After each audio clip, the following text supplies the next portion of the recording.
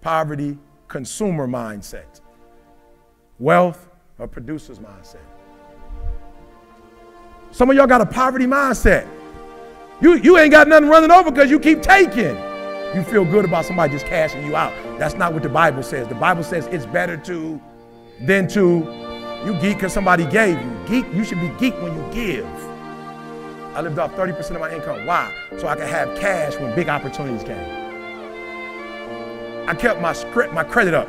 All right, here's a poverty mindset. Poverty mindset is I owe somebody and I ain't gonna pay them till I die.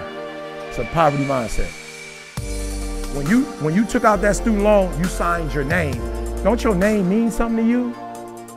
You told them you was gonna pay them back. It'd be cool if you ain't tell them you was gonna pay them back. You told them you was gonna pay them back. A poverty mind says I ain't gonna pay them back. When I got my first lump sum check, first thing I did was pay student loans. Sallie Mae, I paid Sallie Mae. Whose student loans did I pay for first? Pay for Dee's first. So I had to show my wife like I ain't going nowhere. Boom, student loan paid for. Then a year or two later, I paid mine off. Are you hearing what I'm saying? Then took care of all our debts, took care of her mama's debts. When you get whole, you buy stuff that you need and that's useful. When you not whole, you buy stuff so people can see you got money. When you rich, you don't want them to know you got it. I only bring my bank account. Let me tell you something. Only two people you need to impress. That's God and your creditors. That's it. I'm just being real. You need to impress God, and then if Chase want to give you a two million to get a house, you got to prove to them. You know what I'm saying? so you do got to prove. So you know what I'm saying? Like there's two people. Your creditors you need to prove something to, and God. Other than that, you don't need to be proving nothing to nobody. You need to get out of your feelings. And the reason why they get some of y'all is because you're in your feelings. You want to prove something that already exists. Why do I have to prove to people what I have? And that's why people fool with me because I'm organic. I don't, I'm not trying to prove what already is.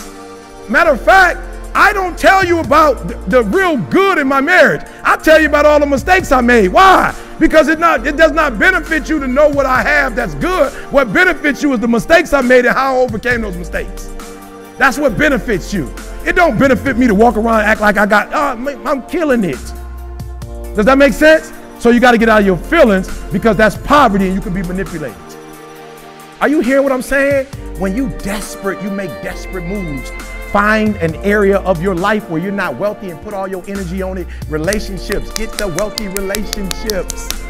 Stop hanging out with people who ain't healthy unless y'all made a commitment to help them to get healthy. Does that make sense? Get your money right. Get your spiritual life right. There should be no area of your life you can't be wealthy. Why? Because he said, be fruitful. Then he said, multiply. Then he said, have dominion. Then he said, subdue. When you're in abundance, Tiffany, you told me January 1st that how much money did I already lose by leaving corporate? I already left for half a million dollars on the table, y'all. The year hadn't even started. But why don't I run up behind every corporate company that called me? I'm already in abundance. How many gigs did you get me? And that equals seven figures? I'm already in abundance. I don't need eight million. I don't need 10 million to live. It don't take more than a million to live a year.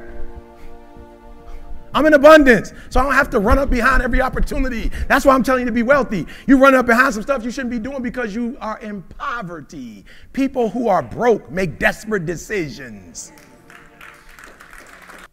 I make a lot of money, but I live off of 30% of my income. I live in a 2,300 square foot home. The people next to me are like working class, like teachers, firefighters. Like I could easily move to Atlanta and put a million to the side and get a mansion. My rent is 1900 a month. Well, I don't have a mortgage no more. But when I had one, it was 1900 a month. I make 50 grand a speech. I drive an Escalade that my company bought for me. And we don't have three cars. I got the one car that I drive. I don't have the one I drive then on the weekend. If you want to drive multiple cars, that's cool. I'm just telling you how to get rich.